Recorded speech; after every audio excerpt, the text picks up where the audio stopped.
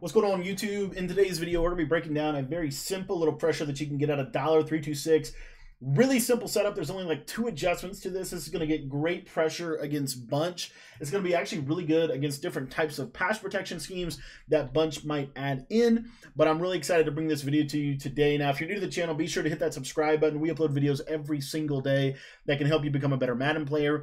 And we're actually releasing our 46 defensive ebook. So if you want to get the full um, 46 defensive ebook that covers the 335, 335 wide, but also covers the dollar 326 as well as some other coverages. Um, I would encourage you to get it, guys. There's a link in the description. We're going to show you how to really lock down people on defense. And this year, it's really hard to do that. So uh, if you want to learn my defense, the exact defense that I'm going to be using, um, that 4-6 defense is really, really good. So check that out. Link in the description. And the setup is, or the play we're going to be using today is Max Sting 3. So if you notice here, this is a five-man pressure. It looks very similar to Mike Blitz 3, um, which is really, uh, I think, a great thing for our defense. So anyways, we're just going to come out in Mike's Max Sting 3. And all we're going to do is if you take a look here, you're going to see that our cover three is unfortunately on the wrong side of the field. So we're just going to flip the play. And what you'll notice is this is the look that you're going to get just like so. And then all we're going to do is we're going to press our coverage, QB contain, and then we're just going to drag this guy in just a little bit, just like that right there. Um, you might need to get him just a little bit closer. I'm going to make sure just up until he comes on an actual contain, as you can see. So this creates this look that we want to have happen. Uh, let me reset the linebacker. My linebacker should go down in here. I'm not sure why he's not, but I want him down in here and we're not going to user the linebacker. Okay, we're not we're not going to user the linebacker. We're actually going to user this safety right here. And what you can do with this is you can do a couple different things, but I just want to show you the base rush. And what you'll see here is we should get edge pressure from both edges. Super glitchy heat, really good heat from Dollar. Now, um, as we've done a couple videos on Dollar, we've talked about how Dollar 326 does not get weak boxed. The reason why is because it has three down linemen, super important. So you don't have to worry about getting weak boxed. We just have to be able to naturally stop the run. So again, I just flip the play, press my defense down, contain off the edge on that left side, bring that guy down just like this, and I'm using right in here, and you're going to see we're going to absolutely scream off the edge every single time. Now, the cool part about this is you can actually go ahead and drop more people into coverage if you want to. So you can move this guy off the side, and then what I can do with this linebacker is I can actually do a couple things.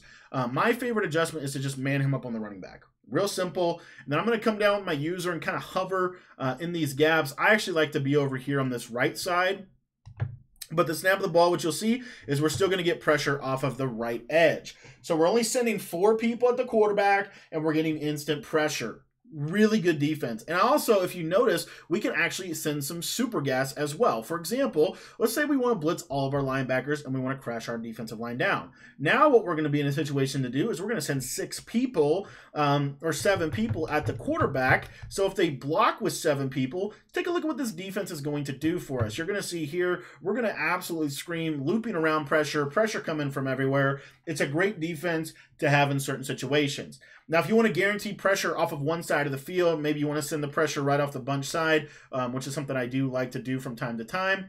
What you're going to do is you're just going to go ahead and take this say or this uh, corner and just simply drop him into coverage. So I can drop him into a hard flat or whatever. And now you're going to see we're just rolling the coverage to the left side ignore that movement. It's not going to make a big difference. But anyways, you'll see right here. Now we're going to kind of guarantee pressure off of that left edge and be able to essentially roll a coverage to a trip. So bunch or trip side in. That's a really good defense for us. So again, I just flip the play, globally blitz my linebacker straight down, QB contain, and then all I'm going to do is uh, on that side, I'm just going to drop that slot corner into coverage just like this right here. And what you'll see is we're going to send instant pressure at the quarterback. So really simple little blitzing scheme here out of the dollar three two six this year. I think dollar is one of the better defenses uh, in the entire game, especially when you can understand the fact that you don't really get weak boxed anymore uh, with the latest update of the game that to me is absolutely huge. And the cool part is we can do the same thing off the opposite side. So if we wanted to really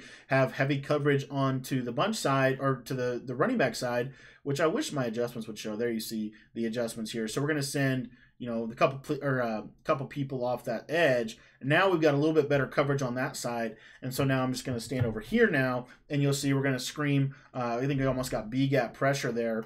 But as you can see, that's kind of the idea uh, for the pressure. So, you know, real simple defense, honestly. Nothing too crazy. If you don't want to flip, uh, it will require, I think, a little bit more of an adjustment uh, on your part. So I would go ahead and just simply flip the play. Again, if you want to drop that, you got zones everywhere on the field. And then, you know, you see here, we're just really hitting that contain rush. Um, super pretty little blitz here, in my opinion. Just great pressure.